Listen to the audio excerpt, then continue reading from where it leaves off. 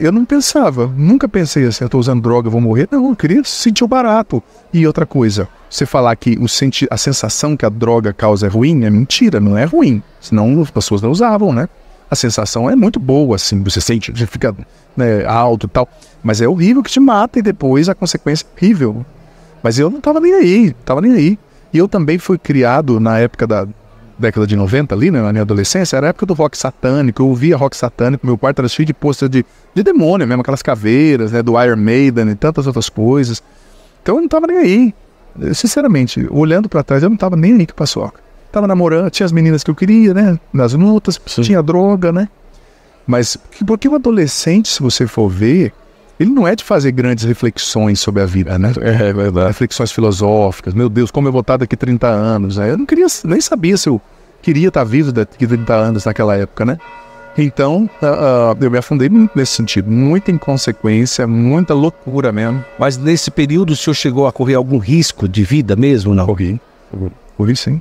Olha, vou ser sincero, é que na época, como eu disse, eu não tinha, uh, como eu posso dizer, um, um, cabedal mental para fazer uma análise. Mas eu, nossa, eu, eu era para estar morto, sinceramente. Os meus amigos que cresceram comigo, a maioria já morreu. Dá para plantar os que estão vivos. Eu tenho certeza que se não fosse Jesus, eu já estava morto há muito tempo. Eu entrei em coma duas vezes, só para. Só, aí você já entende, né? Por causa de droga. Eu fui expulso de escola por causa de droga. Eu entrei em briga por causa de droga. Eu fui jurado, entre aspas, por causa de droga, né? Então é muita coisa que às vezes quem, quem via, né? muitas coisas que a minha mãe foi descobrir, por exemplo, depois que eu estava na Canção Nova dando meu testemunho. tinha coisa que eu falava, mas tinha coisa talvez eu não, não falei no, depois que eu saí daquela vida, né? E também uh, coisas que você vai falando, que você vai lembrando, né? É. Mas eu vivi muita loucura, porque essa vida é muito atroz, né? Por exemplo, você tá na droga, quem tá na droga mente muito. Você mente muito. Você troca a noite pelo dia, né? Você troca. Eu tenho consequências até hoje de coisas que eu vivi assim. Só que como graças a Deus eu estudo bastante a mente, algumas coisas, eu sei. Então tem certos estímulos que eu não posso me permitir. Eu não posso me permitir até hoje, porque as consequências ficam em mim. Por exemplo, eu não tomo café. Desculpa, padre, eu ofereci duas vezes. O senhor me perdoe. Eu tenho autodomínio. Depois o senhor, de, depois o senhor me dá absolvição. Se você tiver arrependido. Por quê? Porque, porque, porque eu, eu achei pouco oferecer uma vez eu ofereci duas vezes café para ele. E não tem nenhum problema. E depois energético, né? Quem é produtor de café, não fique bravo comigo, né? Mas é que eu fui percebendo que o meu cérebro, ele foi acostumado, treinado para sempre ter um estímulo muito louco para mim. E a cafeína, ela também é. age no sistema de recompensa, é. o mesmo mecanismo, né? A cafeína e muitas outras coisas. Então eu fui tirando. Por exemplo, eu não me permito certas coisas. Não é errado, por exemplo, pecado a pessoa, um padre, alguém tomar um cálice de vinho de vez em quando. Sim. Mas eu não tomo. Eu fiz a opção de não tomar. Porque se eu tomar muito vinho, já, aconteceu uma vez de eu tomar vinho, com bispos, padres. Sim, claro. Senti gosto da cocaína na minha língua. Não, não acredito, padre. Até hoje. É o cérebro. Como padres, depois como de padre, muito tempo. Como padre, padre, o cérebro tem memória. Mas vamos lá, depois de 10 anos, por exemplo, isso não? Mais. Mais? Mais. Mais. Mas como isso é sério? Não, né? não dá para brincar, né? Cada um tem que saber o seu limite. Não, e, as, e às vezes quem tá com a pessoa também saber o limite e não insistir. Sim. Tipo assim, ah, você não vai tomar um cálice de vinho aqui, você não vai, sei lá, um copinho de cerveja, o que é que adianta Sim. e tal, não sei o quê.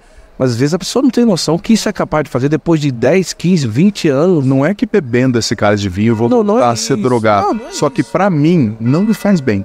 Não me faz bem. E eu fui entendendo não foi no primeiro nem no segundo ano de ministério, foi à medida que o barco foi correndo, ouvindo as pessoas, né? A gente, padre, ouve muita confissão.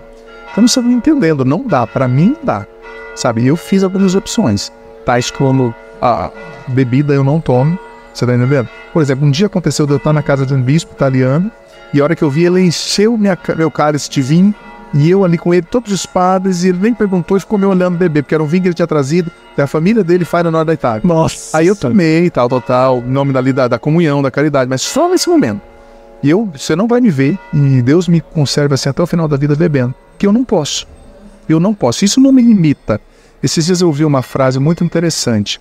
Uh, que o filósofo Kant, né, eu gosto mais, eu fiz a minha monografia na, na filosofia sobre Kant, claro, não estou falando sim, dele como, estou canonizando, estou falando do sistema sim. filosófico, né? Ele disse assim, que só é livre quem faz o que não quer.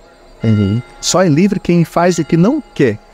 Porque quando você faz o que você tem vontade, tem gente que acha, eu sou livre porque eu faço o que eu quero. Não, não. Quando você faz o que você tem vontade, você está sendo guiado por um instinto. É verdade. Um desejo. Eu tenho vontade de comer chocolate. É o seu instinto te levando de chocolate. É o seu vício te levando para droga, para bebida. Agora, quando você fala, eu não vou comer o chocolate, você é livre, porque o seu instinto não está te cegando. Você está tomando o seu instinto, teu desejo, sua vontade, suas inclinações, dizendo, ó, quem manda nessa, como dizia um amigo meu, né? Quem manda nessa bexiga aqui sou eu, né? Aham. né? Eu não sou dominada por isso, mas isso vai, vai seguir. Como Santo Tomás de Aquino dizia, né? O instinto, o corpo, vai ser subjugado pela razão e pela alma onde o Espírito Santo habita, né? Impressionante.